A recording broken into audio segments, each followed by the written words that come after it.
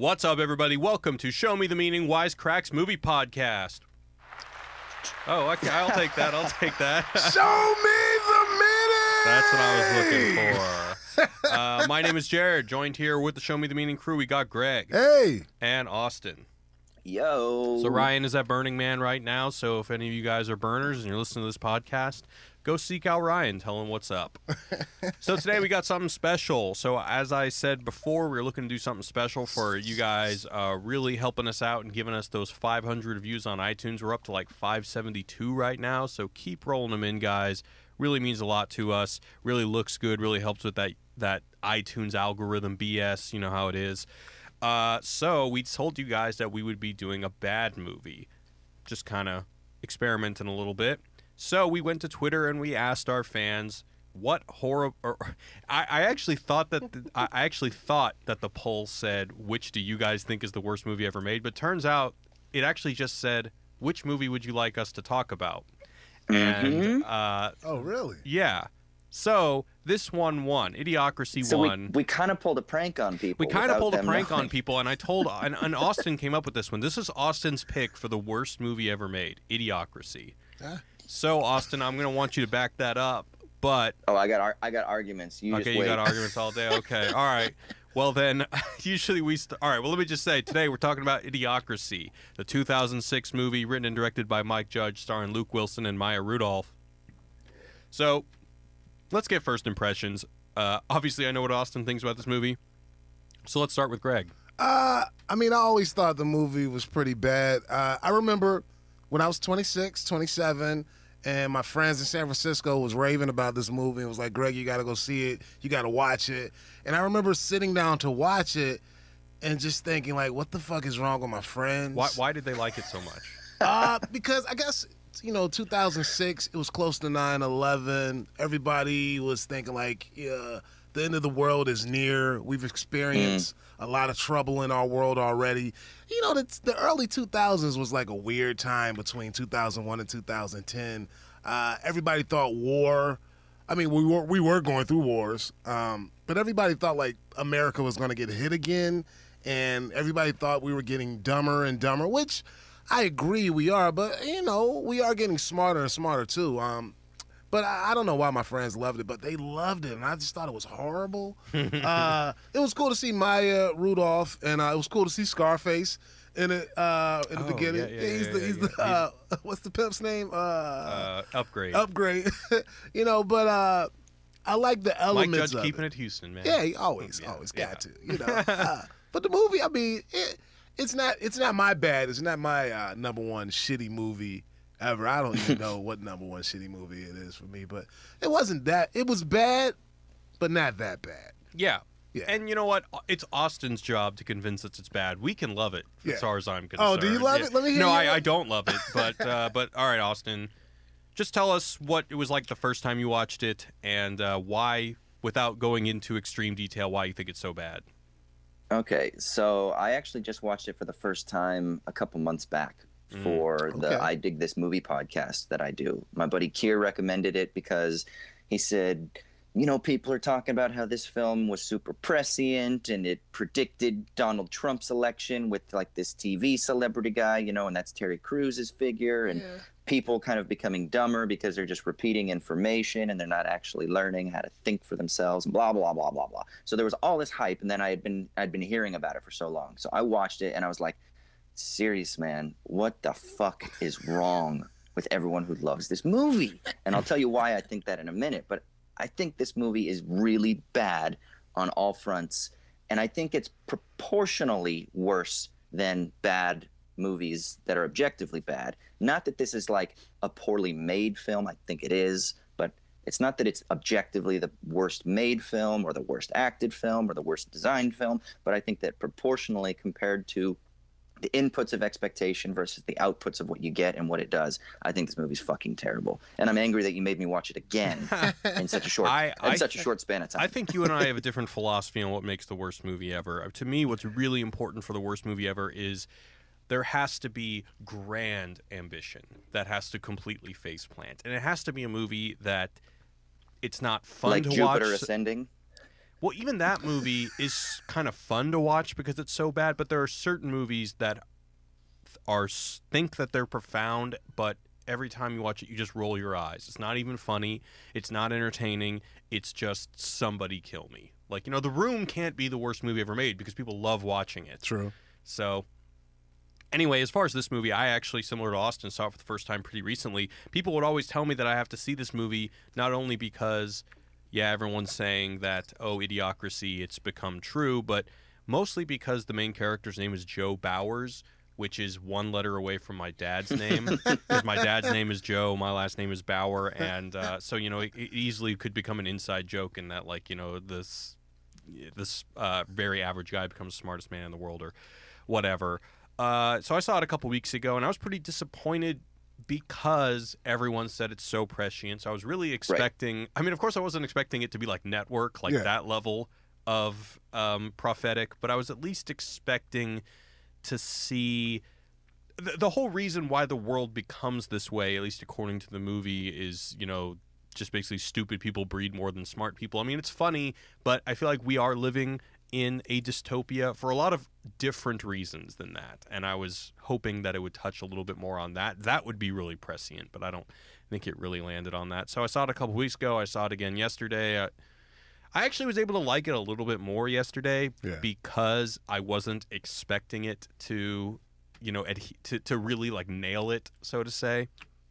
So I didn't really hate it, uh, but it's, it's goofy. It's campy. It's goofy. It's a little uh, what's the movie with Arnold Schwarzenegger in it? Uh, it's a little Total Recallish. You know, like a little, yeah. little goofy. has his his play on that a little bit. Yeah, yeah. I think that the, this movie, it's just the idea right? Yeah. It's the premise. It's mm-hmm. the premise that people latch on to, just the idea that you go forward in time and it's a society run by morons. I think that's just generally what people mean when they say that idiocracy has come to come true. I don't really think that there's that much in the specifics that's that interesting, but we'll get into it. So let me uh, mm-hmm. start with a recap. So the film depicts a society at a turning point in which intelligent people don't procreate and the stupids and the stupid people. The stupids. the stupids. The stupids. I, yeah, I like that. That's actually another movie. Uh, and stupid people fuck like rabbits, slowly transforming into. God damn it! I'm starting over. The film depicts a society at a turning point in which intelligent people don't procreate and stupid people fuck like rabbits, slowly transforming the world into a hive of imbeciles. In 2005, average military man Joe Bowers and streetwalker Rita get chosen for the Human Hibernation Project that's only supposed to freeze them for one year. 500 years later, Joe and Rita awaken to find Earth a garbage filled dystopia run by complete morons who only drink Brawndo, a Gatorade esque drink.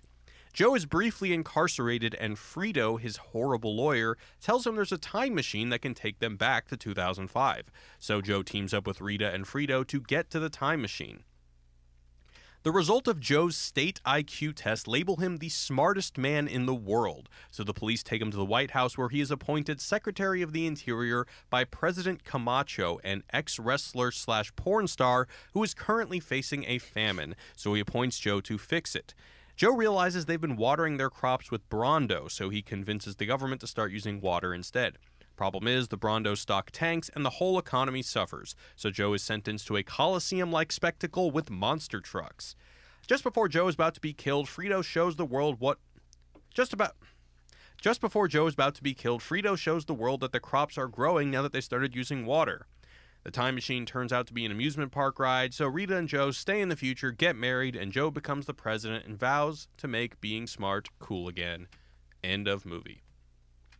All right, guys, before we move on, I want to give a shout out to our sponsors over at Greats. So, Greats is Brooklyn's first sneaker company. Matter of fact, Greg came into the office oh, yesterday, and what'd you say, Greg? I thought I was like, "Yo, those some fly kicks you got on." Yeah, that. thank like you. The, so, like for those of you watching on the live stream, I'm watch I'm wearing them right now. Great set. I told you, I said all my buddies that are into sneakers, they rave about greats because they're they're kind of cool, but they're also relatively affordable for sneakers because fucking sneakers are expensive nowadays. And comfortable. Yo, greats. Size 11. I'll at Greggy. Yeah. so uh, they offer men and women styles. Uh, they sell all the classic styles, what they call the greats, uh, made the best for less. Uh, bestsellers include uh, all the leather Royale lace up. Royale, you know what that means, Greg? Royale lace up. Okay, and Wooster slip-ons. I guess those are the those are the names. Mm-hmm. Uh, you can save 15% on your first purchase with our code SHOWME. So that's S H O W M E at greats.com. I highly recommend it. I got these shoes and they're really comfortable, and I just slipped them on and threw my other shoes away. It was a great thing. So, greats.com, promo code SHOWME. Check it out, guys. Yeah. Get them greats. Get some greats. Get them greats. That's the commercial right there. Get them greats. All right. So, uh, Austin, why don't you take it away with uh, your first reason why you think this movie's so bad? Do you want me to just present my whole case and then we Uh, can work it back? Sure. Okay, here we go. Give me a couple minutes here. First of all, I know that I'm going to get mad hate in the comments. I can already sense people furiously saying, "Dude, okay. I mean, lighten you won- up. you won the it's poll, a man." comedy." I, I I know. I get it. It's a satire, right? The problem is, I think it was. It has some things that are interesting that it's trying to explore, right? The takeover from corporate powers, Mm-hmm. the uh, the kind of tendency, as Greg was saying, for people to maybe diminish classical forms of education. Right. The thing is, that interesting is people they know more things today. We know more things in the world, but we maybe don't concentrate as much on like long-term reasoning skills and things like that. Right. Like I recently read an article about like the problem with skim reading and how we all are poor readers now because we just skim read things and because we just look at like 280 characters or Yeah. whatever and that's like the the primary form of reading and then that conditions our thinking and so we are getting quote unquote dumber in some ways i mean whatever but hmm. so i know that there's an attempt at some clever satire i just think it falls flat on its face i think the acting is terrible dax shepard is like really bad like really bad Is he even Fuck, around? man. Is he But around what do, you, anymore? what, what, what do you mean by bad? I mean, these people. You don't think he's convincingly dumb? You think he's too smart? he's overacting though like terry Crews is overacting luke wilson is just don't. I, bland That's what as Terry fuck. Crews does, like, like though. there's a way you- I don't know, like, man. you know I, this. I, You're but, an this, but this is Like, a, there's char- a way it's, it's a to play movie of caricatures. I think that you. you I mean, is- I feel like I'm getting too wanky here, but I would almost say that it's like, yeah, you know, it's the in the future when everyone's dumb, it's like extremely inauthentic, and everyone it seems like a caricature to us, but people are just literally emulating the things that they see on the screen. I mean, one of the biggest things about this movie is that there's ads everywhere, and like the clothes that they wear is all just like logos, like Yeah, they're yeah. NASCAR drivers. I always think uh, Dax Shepard is, is is bad in everything though. Even when he Do was you? on, was he All on right, like, I- uh, was he on What- uh, that, about real, that He was MTV all right show? Punk'd. Yeah, Punk'd. Yeah, yeah, he was terrible in Punk'd. Okay, I don't even know who he is. the dude uh, is he blonde? Tall blonde dude uh, in Punk'd. He's also been in a lot of commercials. He was really big in like the early two thousands, uh, but I don't even see him anymore. I've seen him in one like family friendly commercial with his wife and his kid, Hmm. and that was it. Yeah, I mean, I know Dax. He's he's married to uh, Kristen Bell. and Yeah. he does movies and shit, and he goes on. I see him on talk shows every once in a while. He's he's steadily working all the time. But um, I I just there's a way to do a caricature. There's a way to play a character, and and if it was the intention for him to just be an over the top cheesy, unreal character, then I blame Mike Judge. And even even still, then that is to me is just Yeah. I- so I- that's a small point. I that's see a small what you're saying criticism i'm mounting a leaky bucket argument here, Jared. so No, it's fine. I mean, do You you, got- mind? Do you mind if I engage with you as you go through it? okay, let's do it. Let's All do it. Keep going. Okay, the set pieces are cheap as fuck looking. Yeah, totally. okay. It's like I mean, Chappelle Show first season. Yeah, but, but yes. come on, man. It's charming Texas filmmaking, man. It's not, L, you know what I'm saying? Two to Not four like- Hey, million if you, dollar if- budget, if you man. got four million bucks, you got to be better than charming Texas filmmaking. Okay. Uh, but I did read that the movie was like canned by Fox, or basically they made the movie but like didn't come through on all the post budget, and then they never released it in theaters.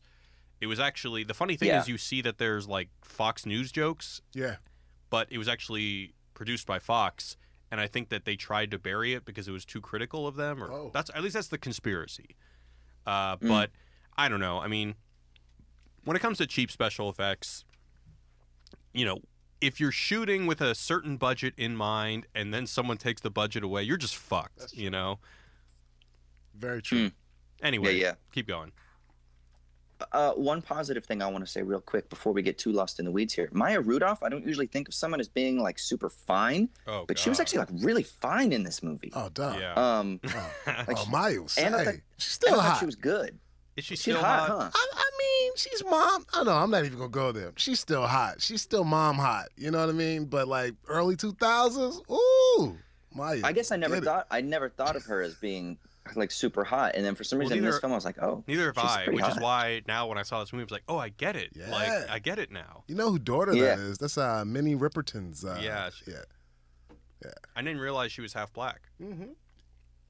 yeah, dog.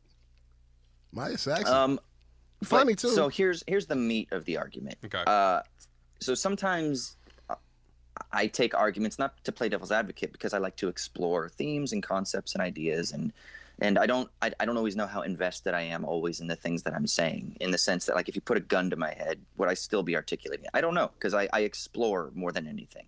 But this one uh, this is like fully as sincere as I can be. I actually think that this film is extremely petty and mean spirited and I think that it really just screams, "I'm better than you, Middle America, and I'm better than you. Working class Americans." And particularly, I think that this film is, you know how some people say, "Oh, fucking elites in Hollywood and elites in New York hate Middle of America." This film is a perfect example of that. It looks at the South, it looks at people with accents, it looks at people who aren't as educated as the elites on the coasts, and says, "You guys are fucking dumb." and I think it's extremely. I think there's a psychoanalytic reading of this, which I could maybe talk about in, in a bit. But I think it basically is an example of that invites viewers and that is an expression of taking joy. It's a Schadenfreude, taking in joy and despising the other, and you only derive your joy in despising and putting down the other, the less than educated, the working class. It's And interesting. America it's- it's notoriously hates the interesting working you, class. It's and this interesting film you is an example. say that because Mike Judge is definitely not among the Hollywood elite. Would you consider? I mean, with Beavis and Butthead, and especially King of the Right. Hill, King of the Hill. well, Right. which is kind of like uh, a Middle America favorite. Yeah, but it I, does. that's what I, mean, kind of thought too. it does still talk about that though. You know, with Beavis and Butthead and King of the Hill, it still has that segment of like, I want to show you this and pick at it a little bit. Mm-hmm. You know, in the same sense of uh, idiocracy. Yeah, but King of the Hill is kind of like, it's kind of like, you know how you can talk shit about your family, but if Yeah. somebody else talks shit about your family, it's like, don't be talking about my fucking family. True. But it's still That's shit what King talking. of, King of the Hill is kind of like that. Whereas this It is, is. It just doesn't seem like there's any of that love. There's no, it's just pure, like petty resentment. But isn't he? I mean, within idiocracy, he is talking about us as a people, us as a culture, us as Americans, right? I mean, he is Yeah, judging us yeah, as a whole. that's true. Yeah, but, but Yeah, I- and I think I think he thinks he's trying to say, "Hey guys, let's be better." Yeah. Ultimately, but it just comes across super mean spirited to me. I think I, I will agree largely with that, Austin. One of the thing, the thing that I read this is this this movie is mostly just like Bush era paranoia, like. You know, when we have movies like the Ricky Bobby movie, what was that? Talladega Nights coming out. That movie, that movie Jesus Camp, uh, the documentary about like the evangelical Oh, camps. yeah. Like we were all during the Bush era, just like Yeah. frightened that, oh my God, the people that run the country are like NASCAR fans who uh, are all evangelicals and stuff, and the evangelical bloc is going to control the country. And they don't really touch on the religious thing, but they do. I feel like the the whole thing is an extended NASCAR joke. Like everything they wear is like NASCAR related stuff. The the Brawndo. the Brawndo, the um, even uh, like the, the the the Coliseum thing at the end with the monster trucks is very. Yeah, I, I, I can see it's like I think it's kind of like the oh my god people voted for Trump a se- I'm not Trump Bush a second time. Nice Freudian slip. Yeah, it was a yeah, Freudian slip. yeah, people voted for Bush a second time. We're we're like going into the dark ages, which now seems like silly. oh you know? man. Yeah. Woo, we had no idea. no idea. But maybe Yeah. that's Here's part the of funny thing. I was talking about this with a buddy of mine last night, and remember how they call them Bushisms? Bush was known for fumbling yes. kind of popular idioms. Where he's that one where he's like, Nuclear, "Fool me once, shame, Shame on you. shame on you. Fool me You fool me once, you can't get fooled again." you know, like he couldn't even. Ah, hilarious. and he's and he would constantly fuck these things up. So people were like, "Oh, our president is dumb. We are a dumb country. We used to be a smart country, and we should be a smart country again." And then Obama becomes president, and everyone's like, he's a pedantic asshole. He talks down to everybody. He's an Like, elitist. God damn it. What, do- He's what do you want? Uppity people? Negro.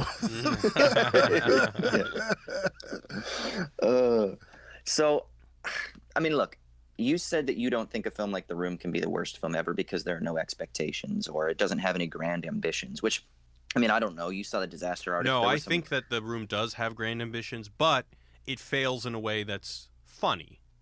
Whereas there are some movies Okay. that have grand ambitions and just fail, and it's just like you're just rolling your eyes, like God kill me, like like like student film kind of shit. okay, I thought you was talking about Matrix uh, Three.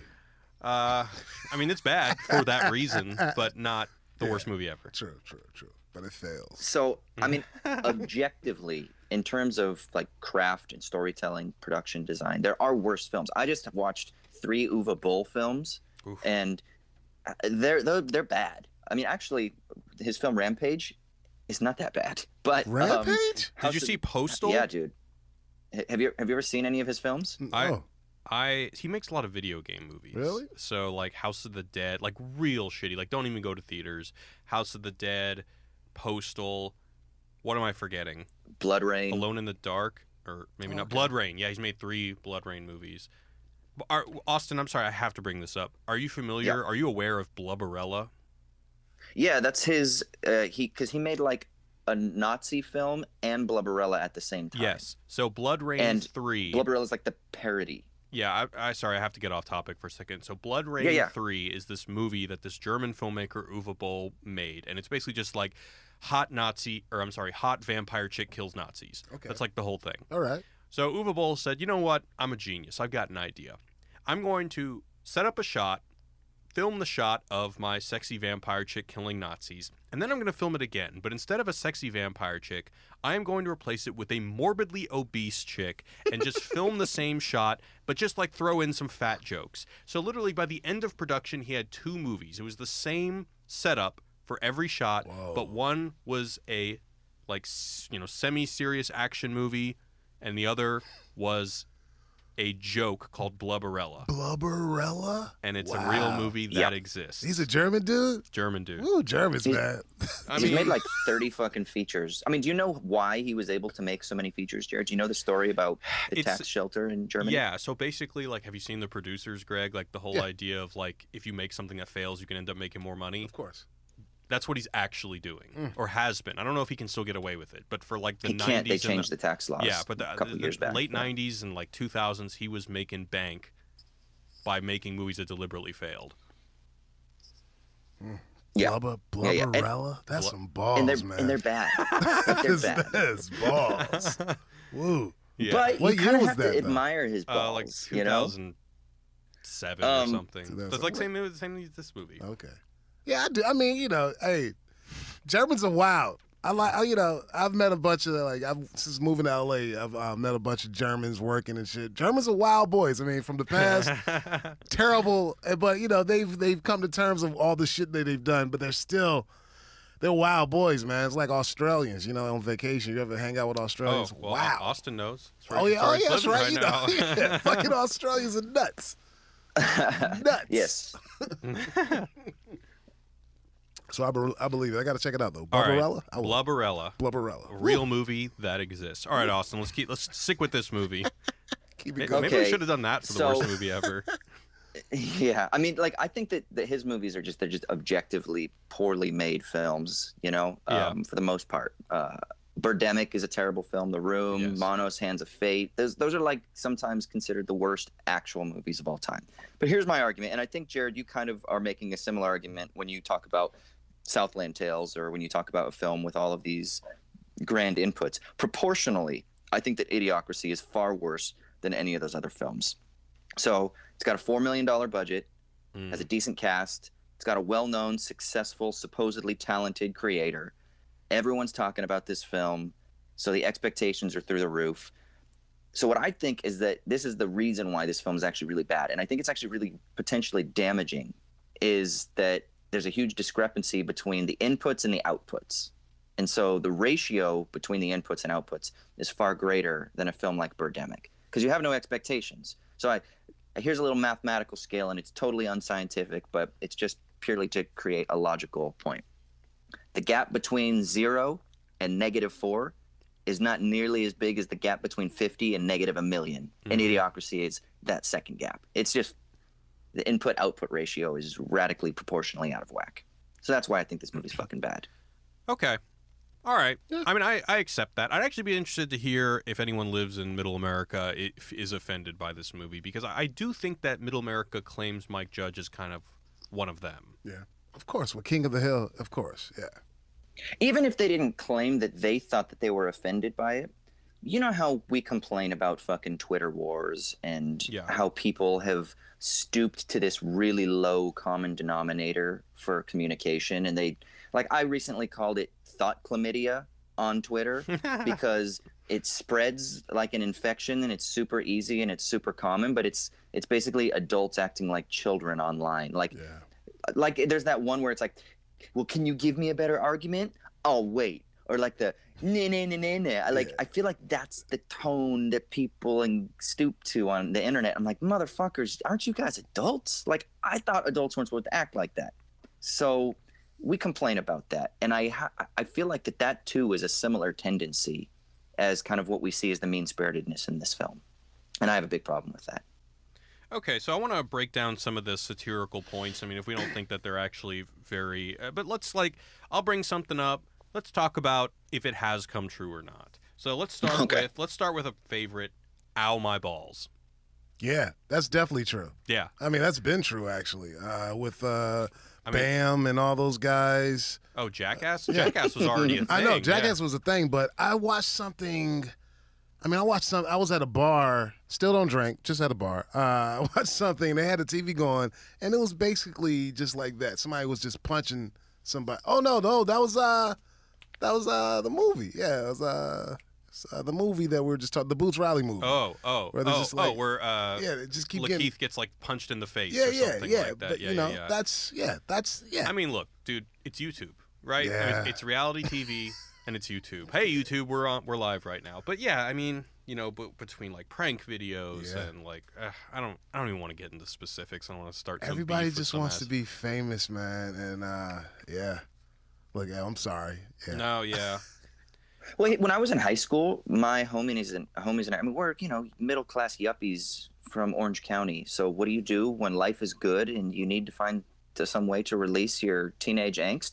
You watch skate videos and you go around and you videotape yourself doing jackass shit. And this was before Jackass. There was a group. It was called CKY, which yeah. is this metal band that uh, like Bam's brother or some shit was a part of Mhm. but it's Camp Kill Yourself, right? And then their big one that they did was called CKY2K, and that was right around the time when I was in high school. And so we tried to emulate that shit. So we used to roll around town in our minivan and cause terror while videotaping all of this. I'm sure there's tons of incriminating footage out there uh, of me doing stupid shit. And then we turned 18 and we were like, well, now we can get arrested for this shit, so we can't do this anymore. Yeah.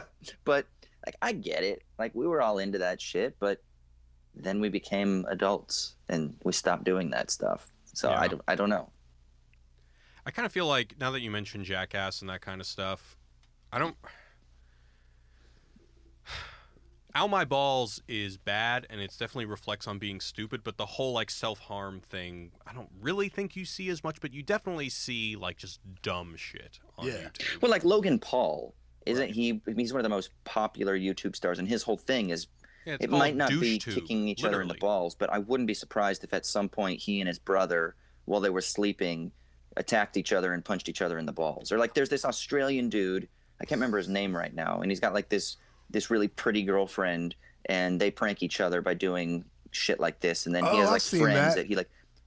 Have I've you seen, that. them? Yeah, yeah, yeah. They do like they punch. She punches him in the balls, or he'll Yeah. be in the shower and she'll come in and dump like cold water on him, or you know. Yeah. Yeah, yeah I've seen that. Yeah, And or, or like they'll be at the gym working out, and the, the one buddy will steal the other buddy's clothes and like run out, and then the guy has to run through the gym naked and then run out to the street to the car naked, which is actually kind of funny. So the next, But- que- yeah, I mean, Yeah. Uh, wrapped up in this discussion, I want to ask if it were made today, or if we could make the movie Idiocracy be more accurate, what would he what would he have done? So for this one, I would say that instead of it being that people are just watching stupid shit, it's more that what we see today is we have the feed. You know, it's like really we are living Fahrenheit 451, where it's just that like it's literally just endless content scrolling and scrolling, and I, you kind of see that like when he's watching Ow My Balls. Mhm. There's like seven All screens yeah. within screens, Mm. so there's always some spectacle that's keeping you entertained. Um, Twitter. Twitter, Fucking Twitter, even man. just like Facebook video. You watch one video and then it scrolls down, and you're scrolling down. this endless content that just keep on giving you those dopamine hits, and Yeah. it's just you can sit I was talking about this hours. with a couple of buddies yesterday after a really interesting seminar, and we were chatting about how our digital spaces affect us. Like, like right now, we I mean we're we're talking. Uh, I'm in person physically in my room. We also are being broadcast over YouTube. You also like you can hear me in a in a space in Los Angeles. And then also, I have a personal identity. I have a Facebook identity. I have a Twitter identity. I have my own YouTube thing. I've I've got these other identities with other like uh, entities that I'm a part of, business things, academic things. So I have all of these like layers of dispersed subjectivity that are out there that are constantly. So it's not just the feed that I'm always looking at. It's even like I'm existing outside of myself when I'm existing here locally. And I wonder if if because then we think about it like we're consumed like oh am i getting likes on this post that i made or am i getting an email that i've been expecting to get back and and our consciousness is so extended into this digital space that i think it, it has a, a strange effect on us and i don't know if we truly know what the effect is but it's um it'll be interesting to see the long-term effects of it But but I think it's different though if you're the artist putting putting it out. You know what I mean? This is like if if we're artists and this is how we create art now and this is how people respond to our art. I don't really think it's that bad. Now, looking from the from the other perspective though as just the the, the consumer, it's it, it's it looks kind of fucked up, but I guess we all are playing in this circle. You know, we're all rotating around this globe and you know, we're all bouncing it's it, we're bouncing ideas off of each other. But I see it as the artist we're just trying to create and we hope people like our shit so we do have to check to see if people like it but Well, we're you also, have to like know, form yourself on different platforms. You know, if like the medium is the message, then there has to be. I mean, this hits close to home for me, and probably for you too. There has to be a YouTube Jared, Yeah. and an Instagram Greg, of course and you know, it's who are you really yeah, Yeah. And while you're at home sleeping or writing your next comedy set where you're going to be in person in control of the art that you're producing, that digital version of you has a life of its own Right. that is taking on meaning and making connections and forming relationships. and maybe offending people or not saying the right thing or maybe making people happy and bringing them joy. And it's like you've got these split identities. yeah yeah, And here's what I wonder, Greg. So, like, for someone like you, you kind of, especially a comedian, like, your Twitter is an extension of your act. Your Mhm. act is an extension of you. And yeah, you do have a persona, but that persona is probably closer to home to you than like, like Tom Cruise when he plays Ethan Hunt, yeah right? i don't know And I mean, so- never know with time And so I wonder, what's up? he really does save the world. i'm fucking around right so it's like so it's like you producing content i totally can understand that but i think it's strange that every everybody on twitter is like trying to be a comedian. Yeah. Everybody on youtube is trying to be some sort of expressive artist. And so it makes all of us into quote unquote artists. True. but then that really lowers the bar for what art is. Oh yeah. That's why you know it's a it's a bust that's about to happen but we'll talk you know i could talk to you guys about that forever or listen to your comedy podcast where you talk about that all the I time. do talk about it all the time. You like that? talk about that comedy bus. Yeah. It's coming. All right. Um, all right, so let's talk about Brawndo. Brawndo is basically the Gatorade drink. The thing that I noticed is that uh, people kept on saying Brawndo. It has what plants crave. It's got electrolytes, and they just keep repeating that every time they say that Brawndo's not good for plants. They say, but it has what plants crave. It's got electrolytes, and uh, th- this is a pretty frightening part that I think is actually pretty. I don't even know if I would say prescient, but accurate, and it probably was as accurate back then. Is that people just can't see past marketing. More to what Mm. Austin was saying Yeah. about, earlier about how people are like headline readers is that they just people don't have the patience to really look into anything, to really question anything, to stop and think critically about something before getting wrapped up and getting outraged or whatever. And um, Oh, hundred percent. I mean, I think, I think one of the things that worries me most of all too is is tied up in that is okay. So, what is the influence that has conditioned that? And so much of it is moneyed interests, right? Like there's an amazing documentary series by this British documentarian journalist named Adam Curtis. It's called Century of the Self. It's like like it's on YouTube. You can access all of his shit for the most part for free. But he talks about have you guys seen that? Century of the. Self? I'm gonna check it out though.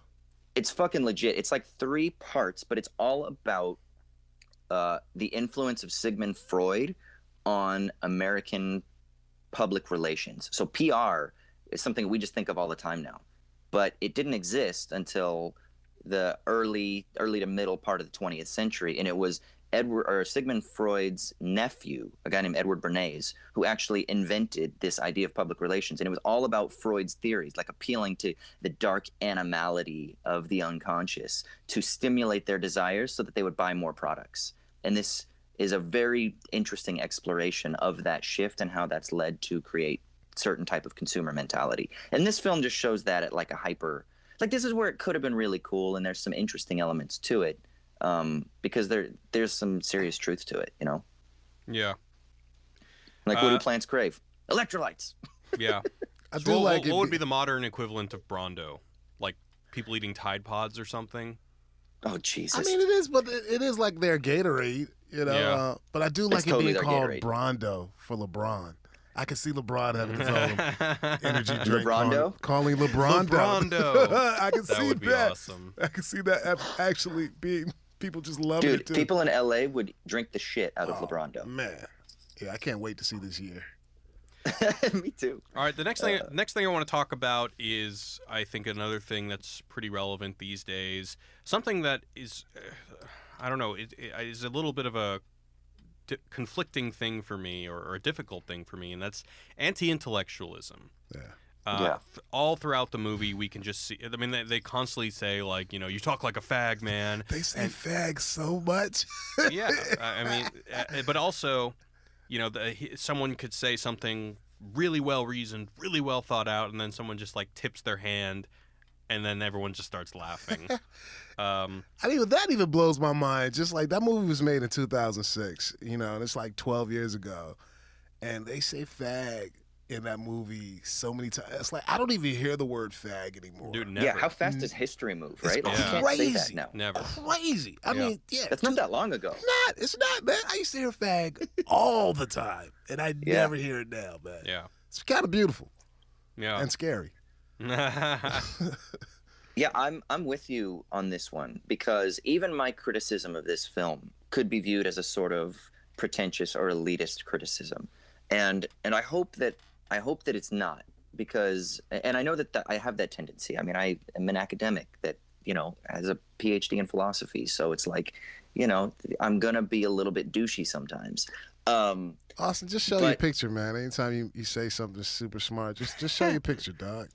You're good. um, but Just flex, so man. like Just I get it. I'm gonna fall into that elitist tendency sometimes, and um, and, and this film, ha- so so I, I I'm torn, right? Because this film, in a way, it kind of like says, hey, everyone should be educated. I'm like, yeah, be educated. That's a very good thing, but.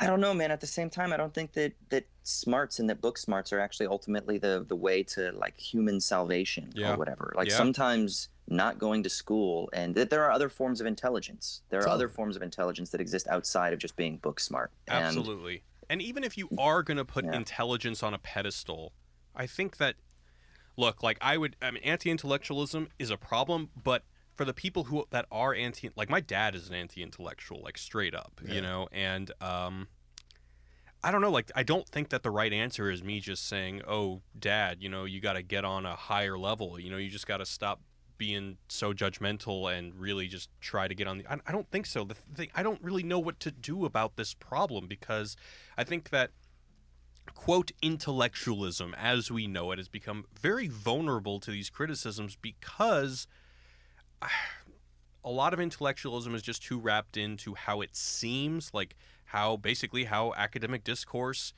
can sound so wanky that the line between it and nonsense is like razor fucking thin Yeah.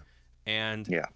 unfortunately intellectualism is not immune from the regular laws of showmanship, of just reaching people, connecting with people. And I think that one of the things that a lot of the people that write for us who are either ex academics, recovering academics, or current academics, some of them do kind of complain that um, at some point academics just became the act of elevating yourself above normal language, which it should be the opposite, mm. really. Yeah.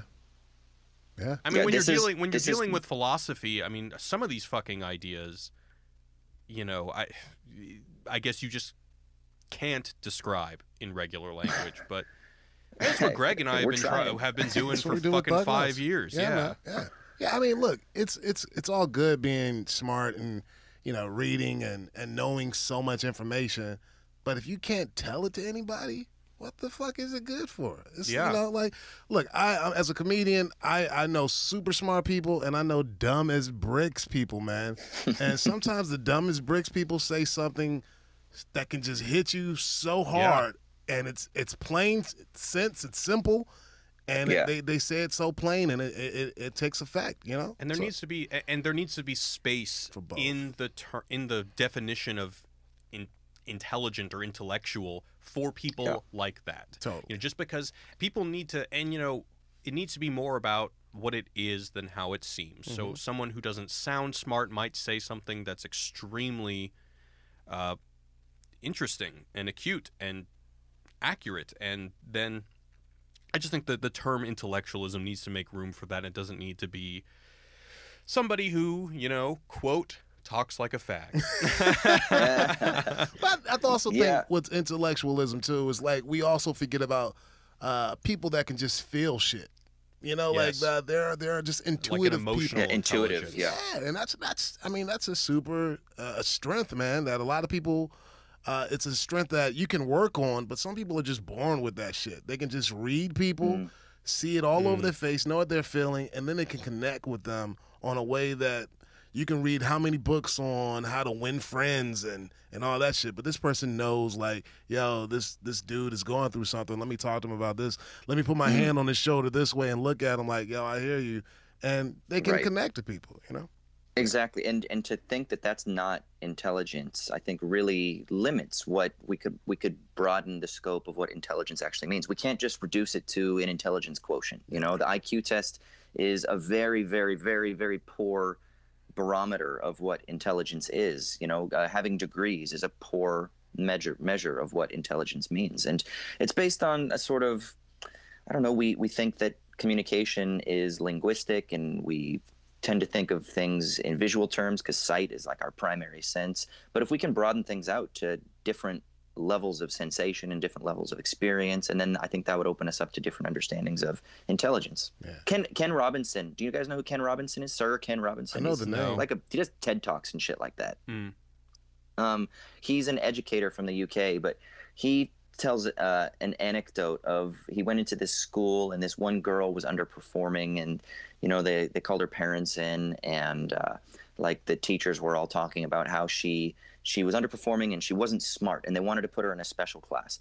And Ken, like, he noticed something, and he said, "You know, hold on one second. Let's go outside." And he put on some music, and he went outside, and he watched her, and she started to dance and move to the music as they were outside. And he said, "I think you should put your daughter in dance classes." And this day, she's like a, some world famous ballerina. and the point was, is that school in like the intellectual things of reading and doing math and arithmetic that just wasn't her thing Yeah. but in terms of her body in terms of feeling music in terms of being able to communicate at that level she's a genius and so mm-hmm. you just have to be able to attune yourselves to these different understandings these different expressions of what smarts are of what communication is Yeah. So there's a quote. I, I read this article this morning called "Where Idiots Dare to Tread" by Matthew Grimm, and it's about idiocracy. And uh, he, there's two quotes here. I'm actually interested, Austin, to see if you think he's giving them too much credit. He says, "Judge paints a beyond dystopian vista of what happens when citizens cede their citizenship to become mere consumers." And then he says, like Office Space, it peels away the soft tissue of shiny, happy corporate placebo culture. Mm. What do you think? Yeah, uh, I mean, I because I kind of, I kind of have talked about this dude in the past, the Byung Chul Han philosopher guy, um, and this idea that that we just live in this endless, like exponential proliferation of the same, and it's that banal corporate stuff, right? The banal corporate slogans, and that we kind of have embodied that. I, I, I think that that is partially true, but I don't know if I would say that Idiocracy has some sort of keen insight into that. I think it, it thinks it does. It's trying to, and I think that's where it's it's trying to be satirical. Um, I, yeah, I think that it would almost be stronger if these people like weren't so stereotypically dumb. Yes. Like didn't say Yes. dumb shit, but it was just that they were just lulled into complacency and just numbed by the placebos of corporate culture. But because they're all so like me- seemingly like mentally handicapped Totally. it, Yeah, it, it, it- like I, I don't think that's that's not the real threat of the quote shiny happy corporate placebo culture. I think it's more that people are just going to become complacent and just be you know roll go into this life cycle of just being constantly numbed so you can just forget your day. Yeah. Yeah. I, I don't even know if we're numb. It's that we're active participants in taking more placebos, which is probably even worse. So it's not numb, and we're Mhm. not dumb in the way that this film makes it. We become these accelerating causes of our own Unhappiness. placebo consumption. Okay. Uh, another thing, so if idiocracy, I, I want to hear if you guys have any like jokes or whatever you want to pitch for what would idiocracy look like if it were written today. But one thing I would, if idiocracy was written today, it would have my vision of it would be that everyone has their own guru that tells them the news. Everyone has their own literal insular reality. Like you know, it's like you, you're either part of the Channel Five cult or you're part of the Channel Seven cult Yeah. or you know something like that. Yeah. I mean, Uh, yeah. any- Totally. Any any other visions of the two, the 2018 Idiocracy remake? Go Uh, go go Super LA, Greg. Oh, What would yeah. be oh. the what would be the LA version? LA version would be uh the LA church. Just like you know, everybody. You ever been to like a, a LA church out here, like a like a Oh, Christian, Oh yeah, dude. A Christian like church No. in LA? I've only been to weed churches. my boy went to uh, the Justin Bieber church. no. yeah, he's like, it's wild, man. It's just wild seeing like preachers with like sleeve tattoos and like. Oh wait, they the- worship Justin Bieber? No, no, no. it's Oh, like oh, it's oh. because Justin Bieber's like super Christian right now. Oh, I didn't know that. and he has like his own church and it's very like it's like a concert type church and I don't know I would see idiocracy having having that but having that within like all religions like you go to one church but there's like a section for each religion at the at the same church you know what I mean I mean, I grew up right next to Joel Osteen's church. You know who that is? Oh, I mean, yeah, I ho- know ho- that ho- is. how, do- how do you how do you make a joke out of that? I mean, it's literally already a sporting event. Yeah. You know, it's so wild, so big so big. Yeah. I yeah, like my churches. first church experience was Rick Warren's uh, Saddleback Church, and which isn't quite as big as Osteen's. Osteen's like huge thirty It- it or used to be forty the- people or something like that. comp- but it- Warren's used like to be the Rockets. thousand people. like, And it it's- Really? yeah, it used to be where the Rockets played. It used to be the Compaq Center. Damn. Jesus, man. yeah Yeah, that's that's massive. I mean, I don't know. I think it's funny when people try to predict the future to look at what they get right and what they get wrong.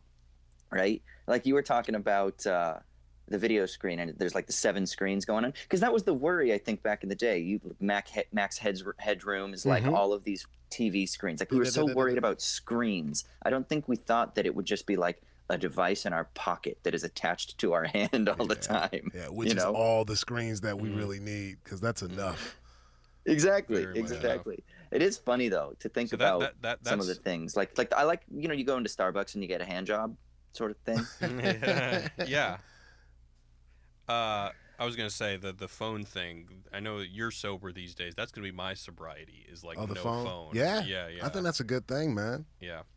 Uh, all right, I want to quote the New York Times. They actually, within the last couple of years, uh, wrote an article about idiocracy, and They say nearly everything predicted in Idiocracy has come true and more. Wow. In the movie, the language is so coarsened. There are curses on billboards. The ones for this year's MTV Movie Awards read "Fuck the Tux." Yeah, true. As predicted, words are being replaced by pictograms. Kids are having birthday parties at Hooters. That's crazy. I didn't know that. Hey, sometimes you might like eh. the waitress, man. You know. In the movie, I thought millennials were killing Hooters. I thought Oh, Hooters right. Hooters is exist. dead, I, I did hear that. Uh, in the movie, they have them and in the movie they have them at in the movie they have them at an overtly sexualized version of Fuddruckers called Buttfuckers. Back in 2006, Time wouldn't even have let me print Buttfuckers. In the idiocracyest moment of the whole 2016 campaign, a Trump supporter who shoved a black protester in the face explained his candidate selection process to a reporter at MSNBC. He said, He's no bullshit. All balls. Fuck you. All balls. That's what I'm about. Though George Washington never said those exact words, he would have certainly killed a man for saying them. I mean, they do. They definitely do have a point. Uh, hey, hey, man, it's, you know, hopefully we're not going to shit. I think everybody. I do think everybody. I know the feeling that everybody was having between 2001 and 2010. Everybody was scared, weirdly scared. You know what I mean? Very weirdly scared. And I feel like now we're not as scared, but we do sense like something's coming. You know what I mean? Like, you know, it's a lot of apocalypse apocalypse talk. You know, North Korea, fucking, you know, we had that beef and you know, I I, I you know, fucking Burning Man. it's just, you know, it's like we, we we live in this culture right now that we feel a shift changing. I don't know what type of shift, some paradigm shift. Uh, maybe the the moons or the planets are aligning or some shit. But uh, I think as human beings, we do feel like something different is about to happen, and maybe uh, collectively we're we're kind of like fuck it. here's here's a here's another quote from Fuck it, uh, let's go to a monster truck rally. yeah. Here's another quote from Mike Judge uh, when someone asked him, like, you know, people talk about this movie a lot, saying it predicted our times. Uh, Mike Judge says it's not just the election, but other weird similarities are popping up all over the place. Carl's Jr. specifically said they're going to have an all-automated store, and there's a fellatio cafe in Switzerland opening with lattes and, you know, sexual favors. Yeah. Yeah. Uh, and then here's my favorite one. So Alec and I, and I think Austin, you might have been on this podcast. Alec and I always talk about that the Marx quote as like first as tragedy, then as farce. I actually think it's the opposite. It's first as farce, then as a tragedy. So here's a good example of this. You know the movie, the movie just called Ass. That's in the movie, Yeah. and it's just Mike Judge said the Ass movie was kind of me distilling everything down to basics. And the funny thing is, we, you know, we had a theater full of people that we'd recruited, and we had actually shot that ass and we put it up there, and it was getting huge laughs. and at some point, I thought, what are we doing? We should just release ass and stop wasting all this time for a story and stuff, so that it, since it was literally getting huge laughs. I can hmm. see that. Yeah, I love the the the masturbator channel too. I mean, the guy's got one I'm bait- arm that's I'm jacked. I'm baiting. I'm baiting. yeah, and, And, the- the trash shit. I Yeah. mean, as as human beings, like throughout the fucking globe, we're just putting our, we're just moving our trash to different places every fucking ten Yeah. years. You know, like China has it. Then China gets tired of it. We throw it to Europe, and America's like, we're not taking that trash, even though it's all our trash anyway. yeah, mm. Yeah, I, I mean, the film has clearly had its finger on the pulse. It has some insight into a, a certain trajectory that history was going. I guess I think the reason that I, I get bummed out again is just that I wish it weren't so mean spirited. We're already so fucking mean spirited, you know. And like like when Claire was on the podcast a couple weeks ago, she's like, "Oh, tell me you haven't." When we were talking about Gone Girl, and I was like, "Oh, but they're just like they're being kind of dickheads." And she's like, "But tell me you haven't bonded over being mean about something else or towards someone." I'm like, "Well, of course I have. I just don't think that's good. I don't think we should valorize that." And I, and I think I'm just super sensitive to that right now because all I see online is that kind of shit and then i'm super sensitive to it in public. Like when i see couples that are just like sniping at each other and i'm like jesus christ you guys are fucking miserable man. Like just Mhm. end it and walk away and go do happy shit. Yeah, man, like you got i just don't like sniping mean spiritedness undercutting each other just resentment mocking. If you're with your homies and you're mocking that's totally fucking different you know? Like there's a level of sincerity and joy that you can have by teasing this is different. There's there's something psychoanalytically uh, perverse about this. It's this Schadenfreude that I think is just I just don't think it's best for being a decent human. You got to go to love uh, El Paso, Texas, Austin. I went to Texas Uh, last is it just week. all Schadenfreude? No. no, no, Texas was everybody was just so fucking nice, man. You know, just yeah, coming from or, or LA. Canada. Oh yeah, yeah, Canada. I mean, I Go to the yeah, Midwest. I go to Canada and Yeah. I'm like, is somebody trying to steal my money? why, why is everybody being so nice, man? You got you guys gonna rape me? You know what's going on? You I know. but I I'm know. not used I mean, to I it. get, and I understand, uh, Jared. I heard you say I like Schadenfreude, and I think, but I think this is different than just like it's not like you know, like when you're when you're a sports fan and the rival team loses, and you're like, ah, fuck you, Eagles, or whatever, Mhm. right? That's there's there's a level of play, but then some people take that shit super seriously, and they're like, I could never be a fan of Notre Dame, you know, because I'm a Buckeye fan. Fuck Notre Dame, and it's like it becomes like super real to them. Yeah. like, Jesus, bro, like, Yeah. no, man, Yeah, go drink some water. yeah, go drink some Brawndo, bro. Um, You know, one thing I noticed in this movie is that we don't see a lot of females being stupid in this movie. It's all like males being like super, uh, not even broy, but like uh, just Dumb. dumb and uh, what's the word I'm looking for? Like just testosterone dumb. Yeah. I wanted yeah, to like see Maya more. Rudolph Fe- is- I wanted oh, to see no, more she's, she's not dumb. She's not from the. yeah, I wanted the to see more female stupidity. Uh, yeah, I mean, you know, what? Women Oh, are that's a good point. It is a no. There's the No, man, everyone can be the- stupid. Hey, look, Stupidity is an equal opportunity I, I thing. do. I, I totally agree. But w- look, man, women are better than us. I, I, I've come to that conclusion. Uh, women are, you know, we're not equal. They're definitely better than us. Uh, they give birth to us. They kind of take care of us, and they they let us think that we're on top. You know, in like some weird way. Uh, Aw. Yeah, they, they they are, man. They're better than us. Uh, who run the world? Women Girls. fucking run the world, dog.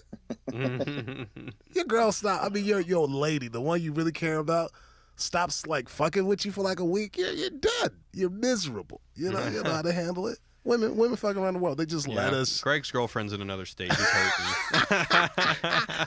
Nah, man, it's, it's true though. It's true. They're smarter than us, man. They give birth. Uh, all right. So, last thing, I just want to say, like, what, what, what, anything you liked about this movie? What, what did you think was the funniest parts?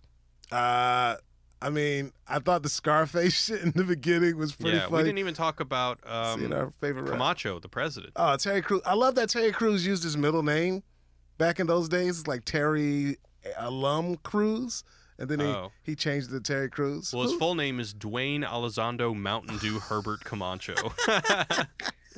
Yeah, and that's right because you take the name of a corporate sponsor because you get paid, right? yeah. oh, is that what they said? Yeah. Yeah, I think like at some one of the- point when the names White are pretty his name darn is funny. Mountain Dew, and then someone else has another corporate name or Yeah, the, guy, something. the the star of Ow My Balls, his name is Hormel. And yeah, uh, right.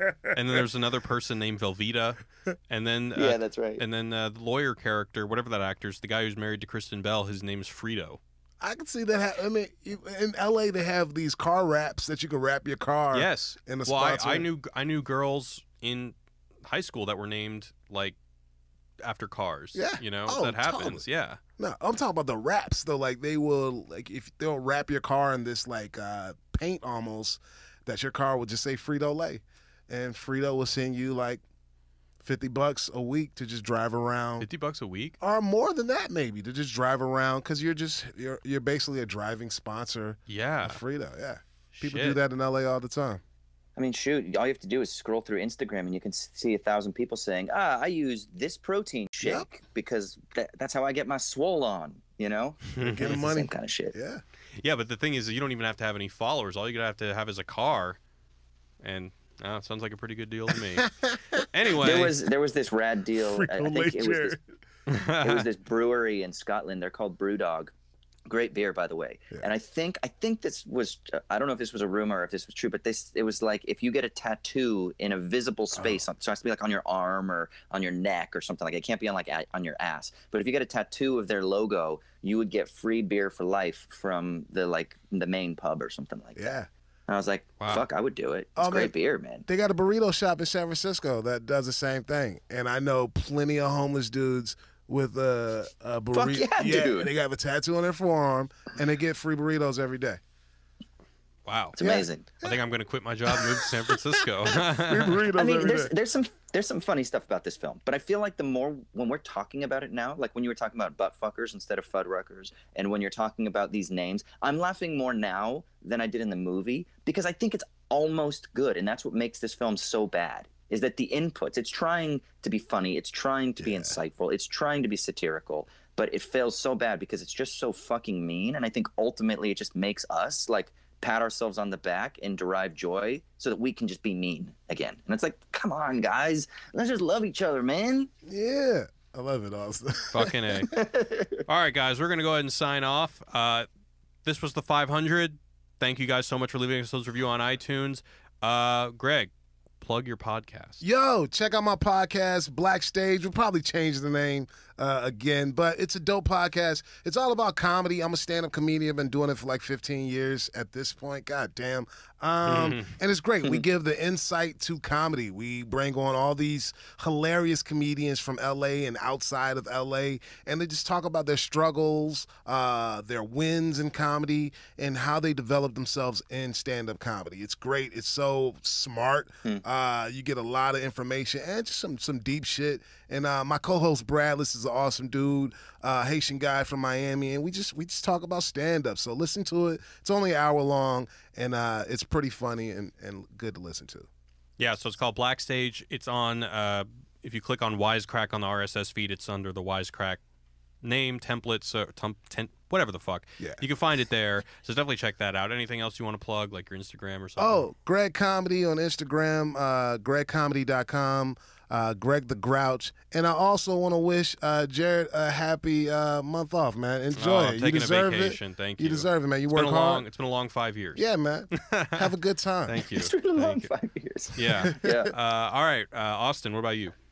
Uh, people can hit me up on Twitter and get mad at me for over theorizing a film that's supposed to just be funny if they want. Uh, Austin underscore Hayden. You love it. I also do a philosophy podcast called Owls at Dawn and a movie podcast called I Dig This Movie.